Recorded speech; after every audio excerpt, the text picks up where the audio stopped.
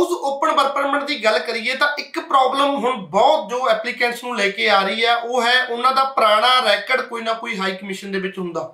ਉਹਨਾਂ ਨੇ ਸਾਲ ਪਹਿਲਾਂ ਜਾਂ ਤਾਂ ਸਟੱਡੀ ਵੀਜ਼ਾ ਦੀ ਜਾਂ ਵਿਜ਼ਟਰ ਵੀਜ਼ਾ ਦੀ ਐਪਲੀਕੇਸ਼ਨ ਸਬਮਿਟ ਕੀਤੀ ਹੁੰਦੀ ਹੈ ਤੇ ਕਈ ਐਪਲੀਕੈਂਟਸ ਨੇ ਤਾਂ ਆਪਣਾ ਵਰਕ ਪਰਮਿਟ ਅਪਲਾਈ ਕਰ ਰੱਖੇ ਹੁੰਦੇ, ਜਾਂ ਕਿਸੇ ਨੂੰ ਡਾਕੂਮੈਂਟੇਸ਼ਨ ਦੇ ਰੱਖੇ ਹੁੰਦੇ ਆ, ਤਾਂ ਉਹਨਾਂ ਨੂੰ ਪਤਾ ਹੀ ਨਹੀਂ ਹੁੰਦਾ ਵੀ ਉਹਨਾਂ ਦਾ ਕੇਸ ਅਪਲਾਈ ਹੋਇਆ ਵੀ ਆ ਜਾਂ ਨਾ ਹੋਇਆ। ਸੋ ਉਹਨਾਂ ਤੋਂ ਜਦੋਂ ਪੁੱਛਿਆ ਜਾਂਦਾ ਵੀ ਸਾਨੂੰ ਪੁਰਾਣੇ ਜਿਹੜੀ ਕੇਸ ਦਾ ਰੈਕੋਰਡ ਦਿਓ, ਤੁਸੀਂ ਕੀ ਡਿਟੇਲ ਸ਼ੋ ਕੀਤੀ ਸੀ, ਕੀ ਤੁਹਾਡੀ ਐਪਲੀਕੇਸ਼ਨ ਦੇ ਵਿੱਚ ਗਿਆ, ਤਾਂ ਉਹਨਾਂ ਦਾ ਜਵਾਬ ਹੁੰਦਾ ਜੀ, ਸਾਨੂੰ ਨਹੀਂ ਪਤਾ ਇਦਾਂ ਲਾ ਦਿਓ ਜੀ ਕੁਝ ਨਹੀਂ ਹੁੰਦਾ। ਕਦੇ ਵੀ ਇਦਾਂ ਦੀ ਗਲਤੀ ਨਾ ਕਰੋ।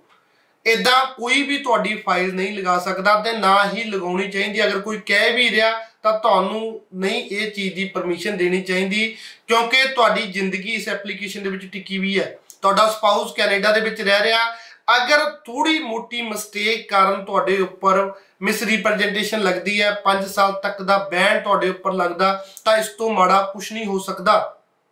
ਈਵਨ ਕਿ ਤੁਹਾਡੇ ਕਿਸੇ ਭੈਣ ਭਰਾ ਦੀ, ਤੁਹਾਡੇ ਪੇਰੈਂਟਸ ਦੀ ਵੀ ਐਪਲੀਕੇਸ਼ਨ ਸਾਲ 2 ਸਾਲ ਪਹਿਲਾਂ ਲੱਗੀ ਆ, ਤਾਂ ਉਸ ਦੇ ਵਿੱਚ ਵੀ ਉਸ ਦਾ ਫੈਮਿਲੀ ਇਨਫੋਰਮੇਸ਼ਨ ਫਾਰਮ ਗਿਆ, ਉਹਦੇ ਵਿੱਚ ਤੁਹਾਨੂੰ ਕੀ ਕੰਮ ਕਰਦਾ ਦਿਖਾਇਆ, ਉਹਦੀ ਵੀ ਡਿਟੇਲ ਤੁਹਾਡੇ ਕੋਲ ਹੋਣੀ ਚਾਹੀਦੀ ਹੈ ਮੈਂ ਇੱਕ ਕੇਸ ਬਾਰ-ਬਾਰ ਡਿਸਕਸ ਕਰਦਾ, ਜੋ ਕਿ 2018-19 ਦੇ ਵਿੱਚ ਉਸ ਕੇਸ ਦੇ ਉੱਪਰ 5 ਸਾਲ ਤੱਕ ਦਾ ਬੈਨ ਲੱਗਿਆ ਸੀ। ਰੀਜ਼ਨ ਕੀ ਸੀ? 2015 ਦੇ ਵਿੱਚ ਉਹਦੇ ਪੇਰੈਂਟਸ ਨੇ ਆਪਣਾ ਵਿਜ਼ਟਰ ਵੀਜ਼ਾ ਅਪਲਾਈ ਕੀਤਾ ਜਿਸ ਦੇ ਫੈਮਿਲੀ ਇਨਫੋਰਮੇਸ਼ਨ ਫਾਰਮ ਦੇ ਵਿੱਚ ਉਸਨੇ ਆਪਣੇ ਬੇਟੇ ਨੂੰ ਸਟੂਡੈਂਟ ਦਿਖਾਇਆ। ਉਸ ਤੋਂ ਬਾਅਦ ਉਸਨੇ 2018 ਚ ਉਸਨੇ ਆਪਣਾ spouse open work permit apply ਕੀਤਾ ਤੇ 2013 ਤੋਂ ਲੈ ਕੇ ਟਿਲ ਡੇਟ ਤੱਕ ਆਪਣੇ ਆਪ ਨੂੰ ਵਰਕਿੰਗ ਦਿਖਾਇਆ ਵੀ ਮੈਂ ਕੰਮ ਕਰਦਾ। ਸਿਰਫ ਔਰ ਸਿਰਫ ਇਸੇ ਰੀਜ਼ਨ ਕਰਕੇ ਉਸ ਦੇ ਉੱਪਰ 5 ਸਾਲ ਤੱਕ ਦਾ ਬੈਨ ਲਗਾ ਦਿੱਤਾ ਗਿਆ। ਸੋ ਕਦੇ ਵੀ ਇਦਾਂ ਦੀ ਗਲਤੀ ਨਾ ਕਰੋ। ਪੁਰਾਣਾ ਰੈਕਟ ਦੇ ਬਿਨਾ ਆਪਾਂ ਅੱਗੇ ਨਹੀਂ ਜਾਂਦੇ। ਪਹਿਲੀ ਗੱਲ ਤਾਂ ਜਦੋਂ ਤੁਸੀਂ ਕਿਸੇ ਵੀ ਕੈਟਾਗਰੀ ਦੇ ਵਿੱਚ ਅਪਲਾਈ ਕਰਦੇ ਆ, ਤਾਂ ਫਾਰਮਸ ਦੀ ਕਾਪੀ ਆਪਣੇ ਕੋਲ ਰੱਖਿਆ ਕਰੋ। ਨਹੀਂ ਫਾਰਮਸ ਦੀ ਕਾਪੀ, ਤਾਂ ਕੀ ਡਿਟੇਲ ਤੁਸੀਂ ਭਰੀ ਆ, ਉਹ ਤੁਹਾਡੇ ਕੋਲ ਹੋਣੀ ਚਾਹੀਦੀ ਆ। ਨਹੀਂ ਹੈ, ਤਾਂ ਤੁਸੀਂ ਜਦੋਂ ਤੁਹਾਡਾ ਸਪਾਊਸ ਆਪਣਾ ਕੇਸ ਅਪਲਾਈ ਕਰ ਰਿਹਾ, ਜਾਂ ਜਦੋਂ ਤੁਸੀਂ ਆਫਰ ਲੈਟਰ ਹੀ ਅਪਲਾਈ ਕਰ ਰਹੇ ਹੋ, ਉਦੋਂ ਹੀ ਆਪਣੇ ਕੰਸਲਟੈਂਟ ਨੂੰ ਇਹ ਗੱਲ ਦੱਸੋ ਵੀ ਮੇਰੀ ਪਹਿਲਾਂ ਐਪਲੀਕੇਸ਼ਨ ਲੱਗੀ ਸੀ। ਮੇਰੇ ਕੋਲ ਪੁਰਾਣਾ ਰੈਕਡ ਨਹੀਂ ਹੈ। ਤਾਂ ਪਹਿਲਾਂ ਤੁਸੀਂ ਆਪਣੇ ATIP ਅਪਲਾਈ ਕਰੋ, ਆਪਣਾ ਪੁਰਾਣਾ ਰੈਕਡ ਕੱਢੋ। ਸਾਰੀ ਦੀ ਸਾਰੀ ਡਿਟੇਲ ਤੁਸੀਂ ਹਾਈ ਕਮਿਸ਼ਨ ਚੋਂ ਕਢਵਾ ਸਕਦੇ ਹੋ ਬਟ ਉਹਦੇ ਲਈ ਟਾਈਮ ਲੱਗਦਾ। ਬਹੁਤ ਵਾਰ ਦੇਖਿਆ ਗਿਆ ATIP 1 ਮੰਥ ਦੇ ਵਿੱਚ ਆ ਜਾਂਦੇ ਆ 2 ਮੰਥ ਦੇ ਵਿੱਚ ਆ ਜਾਂਦੇ ਆ ਅਪ ਟੂ 3 ਮੰਥ ਤੱਕ ਮਿਲ ਹੀ ਜਾਂਦੇ ਆ। ਸੋ ਹੁਣ ਹਾਲੇ ਵੀ ਪ੍ਰੋਸੈਸਿੰਗ ਟਾਈਮ ਥੋੜਾ ਘਟਿਆ ਵਾ ਕੋਵਿਡ ਦੇ ਦੌਰਾਨ ਜ਼ਿਆਦਾ ਸੀ। ਸਾਰੀ ਦੀ ਸਾਰੀ ਡਿਟੇਲ ਕਢਾ ਕੇ ਰੱਖੋ, ਬਿਨਾਂ ਡਿਟੇਲ ਤੋਂ ਅੱਗੇ ਨਾ ਜਾਇਆ ਕਰੋ। ਫੋਰ ਐਗਜ਼ਾਮਪਲ ਤੁਸੀਂ ਸਾਲ 2023 ਦੇ ਵਿੱਚ ਆਪਣਾ spouse open work permit apply ਕਰ ਰਹੇ ਹੋ।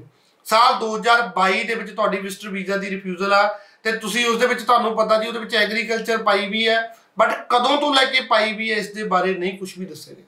ਸੋ ਤੁਸੀਂ ਉਸ ਐਪਲੀਕੇਸ਼ਨ ਵਿਜ਼ਟਰ ਵੀਜ਼ਾ ਦੀ ਐਪਲੀਕੇਸ਼ਨ 'ਚ ਦਿਖਾਇਆ ਵੀ ਮੈਂ ਪਿਛਲੇ 1 ਸਾਲ ਤੋਂ ਐਗਰੀਕਲਚਰ ਕਰ ਰਿਹਾ। ਉਸ ਤੋਂ ਬਾਅਦ spouse open work permit apply ਕਰਦੇ ਹੋ ਤਾਂ ਕਹਿੰਦਾ ਜੀ, ਮੈਂ ਪਿਛਲੇ 4 ਸਾਲ ਤੋਂ ਐਗਰੀਕਲਚਰ ਕਰ ਰਹੇ ਹੋ। ਇਨ ਕੇਸ ਤੁਹਾਡੇ ਬਿਆਨ ਜਿਹੜੇ ਮੈਚ ਨਹੀਂ ਹੁੰਦੇ, ਤੁਹਾਡੀ ਡਿਟੇਲ ਮੈਚ ਨਹੀਂ ਹੁੰਦੀ, ਤਾਂ ਤੁਹਾਨੂੰ ਇਸ ਦਾ ਖਮਿਆਜਾ ਬਹੁਤ ਭੁਗਤਣਾ ਪੈ ਸਕਦਾ। ਕਦੇ ਕਿਸੇ ਦੀਆਂ ਗੱਲਾਂ ਦੇ ਵਿੱਚ ਨਾ ਆਓ। ਬਹੁਤ ਸਾਰੇ ਕੰਸਲਟੈਂਟ ਜਿਹੜੇ ਸਿਆਣੇ ਬੰਦੇ ਆ, ਉਹ ਜਿਹੜਾ ਕੰਮ ਨਹੀਂ ਕਰਦੇ ਬਟ ਕਈ ਬੰਦੇ ਜ਼ਿਆਦਾ ਜਲਦੀਬਾਜ਼ੀ ਦੇ ਚੱਕਰ ਦੇ ਵਿੱਚ ਜਲਦੀ ਕੇਸ ਅਪਲਾਈ ਕਰਨ ਦੇ ਚੱਕਰ, ਜਾਂ ਉਹਨਾਂ ਨੂੰ ਲੱਗਦਾ ਵੀ ਕੇਸ, ਕਿਸੇ ਕੋਲ ਹੋਰ ਨਾ ਚਲੇ ਜਾਵੇ, ਤਾਂ ਉਹ ਜਲਦਬਾਜ਼ੀ 'ਚ ਫੜ ਕੇ ਡਾਕੂਮੈਂਟ ਲਾ ਦਿੰਦੇ ਆ।